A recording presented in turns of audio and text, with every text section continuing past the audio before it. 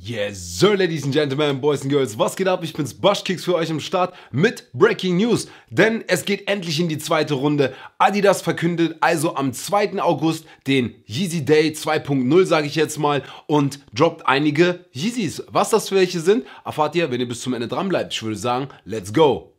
Also gestern ganz auf entspannt, dann einfach mal die Confirmed App abgecheckt und dann gleich einen erfreulichen Blick gehabt, denn es wurden genau diese Yeezys hier ausgewählt, beziehungsweise diese Yeezys wurden mir direkt angezeigt. Und das ist das Foto, was gestern auf der Adidas Confirmed App hier bei uns in Deutschland aufgetaucht ist. Hier könnt ihr sehen, dass wir 10 Yeezys an der Zahl haben.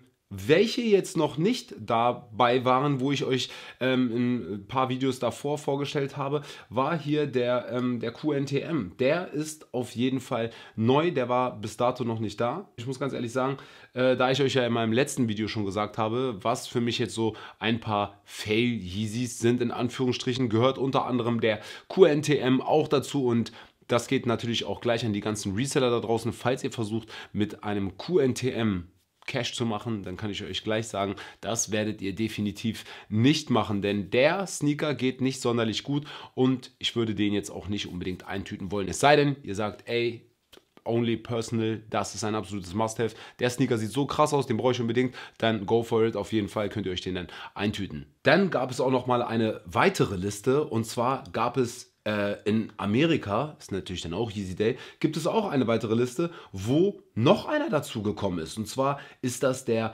Adidas Yeezy Slide 450 und da frage ich mich doch, warum der hier bei uns nicht gedroppt wird. Also der sieht auf jeden Fall ziemlich, ziemlich, ziemlich creamy aus und ich finde den richtig nice. Richtig, richtig, richtig nice. Irgendwo war der, da ist er, da ist er gelistet und ey Leute, guckt euch den mal an der so für den Sommer und so, ich weiß nicht, ne? Kann man bestimmt mal machen. Also ähm, bin ich gespannt, was, was, was da so abgeht, weil ich ja sowieso Team Slide bin. Und ihr könnt euch daran erinnern, dass hier, wie heißt sie, unsere gute Kim Kardashian, damals auch schon lange, lange, lange her, ähm, diesen Sneaker uns, beziehungsweise diesen Slide vorgestellt hat, äh, an dem Tag, wo sie uns äh, Happy Easter gewünscht hat.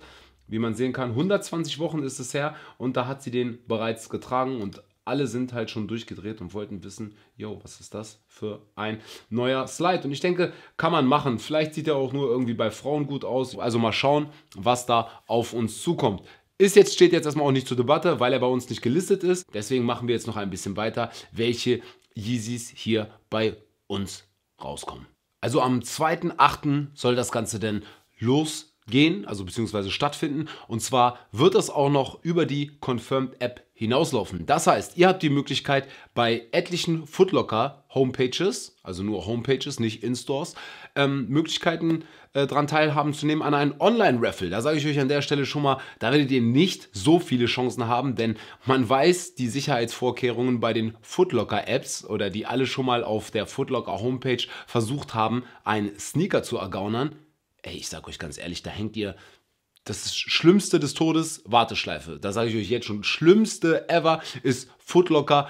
Warteschleife. Jeder, der weiß, wovon ich spreche, der haut das gleich erstmal in die Kommentare, wie viel Zeit man damals in den Footlocker Warteschleifen verbracht hat für Yeezys oder andere Sneaker. Deswegen, und die sind natürlich auch nicht so geschützt. Das heißt, etliche Botter, etliche Leute, die botten, die, hey, die klären sich da ihre Sneaker for real. Ohne Probleme, ohne Wenn und Aber. Die machen da gar kein großes Tamtam. -Tam. Wirklich, irgendwie haut das bei denen. Immerhin, die haben halt nicht so eine gute ähm, Homepage, sage ich mal, die so ein bisschen Bots ausmistet. Deswegen stehen die Chancen da immer sehr schlecht oder wenn ihr welche bekommt halt irgendwie, dann ist das echt so meistens Zufall oder der Stock ist echt so groß, dass jeder auch irgendwie was bekommt. Und ich vermute es bei einigen Yeezy-Modellen ja. Ich sage euch gleich, ich gehe stark davon aus, dass die Slides und Foam Runners sowieso auf Minimum limitiert sind und deswegen werden da auch nicht alle welche bekommen. Ganz wichtig, Attenzione, Attenzione. Ich werde versuchen natürlich mit meiner Gruppe ganz viele Foam Runner zu bekommen, denn es wird definitiv ein Gewinnspiel geben. Ich versuche etliche Slides zu bekommen und Foam Runner. An der Stelle Team Slide, ihr wisst Bescheid und werde dann wieder ein Gewinnspiel machen. Und so habt ihr dann die Möglichkeit, bei einem späteren Video dann ähm, immer wieder ein Gewinnspiel zu machen. Wir werden immer welche wieder eintüten und die werde ich dann immer wieder verlosen. Aber dazu kommen wir dann, wenn es soweit ist. Machen wir weiter mit den ähm, Yeezys, die gedroppt werden. Wir haben hier dann einmal den äh, Bone am 2. August, der dann irgendwie den Start machen wird. Und ja, wir sehen ihn, wir, ihr wisst Bescheid, Leute. 220 Euro wird uns der kosten, 230 Euro wird uns der kosten, Entschuldigung, ähm, nicht hier von den äh, Dollarzeichen äh, irritieren lassen und auch nicht hier jetzt vom Datum irritieren lassen. Es ist auf jeden Fall einer, der... Äh, auf jeden Fall immer geht. Ich finde den Bone sowas von krass und muss ganz ehrlich sagen, einer mit meiner Favorites, weil er einfach so einen clean Colorway hat. Da kann man überhaupt nichts falsch machen. Der Foam Runner, ich kann jetzt nicht ganz erkennen, welcher das ist. Oh Gott, wo sind die jetzt? Wo sind die Foam Runner? Where are the Foam Runners? Es ist der, ähm, der Carbon, der Yeezy Foam Runner Carbon wird das denn sein. Und äh, ja, der ist zumindest hier auch gelistet nur für August. Und ähm, den werden wir definitiv eintüten für ein Gewinnspiel. Das heißt, wenn ich den bekommen sollte, wird es ein Gewinnspiel geben. Vergesst mich an der Stelle nicht zu abonnieren, damit ihr das ganze Gewinnspiel und auch kein weiteres Video verpasst. Gebt dem Video hier auch gerne einen Daumen nach oben oben, da würde ich mich mega drüber freuen. Dankeschön. Und immer was in die Kommentare hauen. Ganz, ganz, ganz, ganz wichtig. Ja, dann geht es mit den 500er weiter. Leute, die 500er habe ich euch im letzten Video auch was gesagt. Für mich bin ich da jetzt so ein bisschen mehr raus. Irgendwie, was die 500er angeht. Hier haben wir den 500er. Der kommt, wie gesagt, der Bone White. Leute, das muss jeder selber für sich wissen, ob ihr den eintüten sollt oder nicht. Ich denke mal, da wird es auch Resale-mäßig nichts zu holen geben. Deswegen müsst ihr das euch gut überlegen. Dann gibt es auch noch, wenn wir hier schon gerade sind, den 700er V3, der äh, Copper Fade mit diesem roten Stich hier. Ich glaube, der leuchtet auch nur rot, wenn der irgendwie so ein bisschen Licht bekommt. Dann kriegt er halt so einen Glow-Effekt. So, ich glaube, das war so. Ich mich, ich meine mich daran zu erinnern, dass das so war. Leute, Finger weg. Macht ihr überhaupt nichts. Äh, plus, also den braucht ihr nicht stehen lassen. Das ist komplett Personal-Geschichte. Wirklich, glaubt mir, das ist eine komplette Personal-Geschichte. Und wenn ihr darauf Bock habt, dann solltet ihr den eintüten. Ansonsten nicht. Dann, was haben wir denn noch hier auf der Liste? Den, den 450 haben wir hier noch drin. Und zwar hier haben wir den einmal. Tja, muss auch jeder wissen, der Stone Grey, überhaupt nicht meine Silhouette, überhaupt nicht meine Silhouette.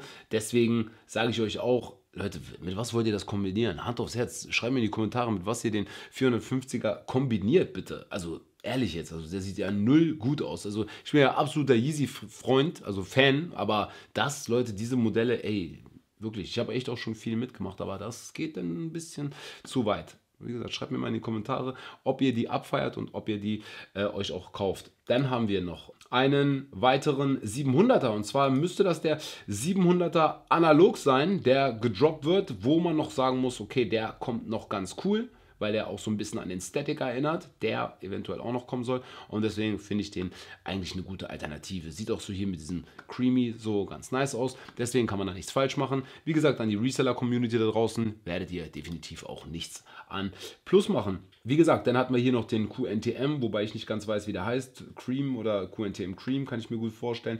Dann haben wir noch, dann haben wir noch die beiden Compact-Dinger. Leute, wo sind die Compact-Dinger? Die haben wir hier auch noch, die jetzt am 2. August ihren Start machen. Und zwar haben wir einmal den Carbon hier, den V2 Compact Slate Onyx, Entschuldigung, ich korrigiere mich, den ähm, Carbon, den hatte ich ja auch vorgestellt. Und ja, es ist halt diese tote Socke, wie gesagt, kommt fürs Fitnessstudio, ganz nice, aber ich sage euch gleich, Finger weg davon, Finger weg davon, Finger weg davon, Finger weg davon.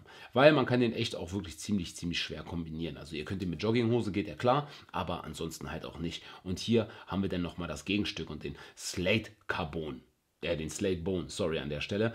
Und die machen dann den Start auf der Confirmed App und bei anderen Retailern. Und dann haben wir noch zu guter Letzt auch gleich für den Anfang ein Slide mit drin und zwar den Bone, also im Bone Colorway. Und da muss man natürlich ganz ehrlich sagen, da werde ich definitiv versuchen, den einzutüten. Und ihr könnt euch sicher sein, dass die einzig gewinnbringenden Sneaker jetzt in Anführungsstrichen die Slides und die Foam Runner sein werden, weil ihr die für günstiges Geld kriegt und echt teilweise gleich am ersten Tag fürs Doppelte oder so verscherbeln könnt. Deswegen Schlag zu, wenn ihr Bock drauf habt, aber ich bin ja immer so ein Freund. Ihr seht, ich verkaufe die jetzt nicht. Ich mache ein Gewinnspiel, das finde ich irgendwie cooler. Deswegen vielleicht versuchen, die Dinger einzutüten, auch mehrmals. Also für mich jetzt aus diesem Job, aus dem ganzen Job, der hier erscheint, werde ich weil ich viele davon schon habe und deswegen nicht doppelt kaufen werde, nur auf Foam Runner und Slides gehen. Aus dem einfachen Grunde, weil der Bone mir noch fehlt und der einfach ziemlich, ziemlich fresh aussieht und weil ich ein Gewinnspiel machen möchte. Und ihr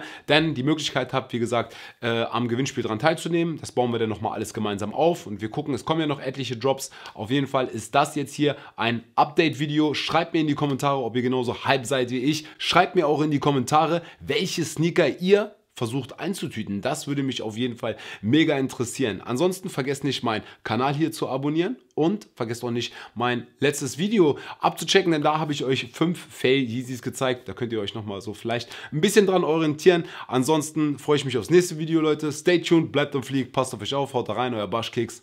Peace.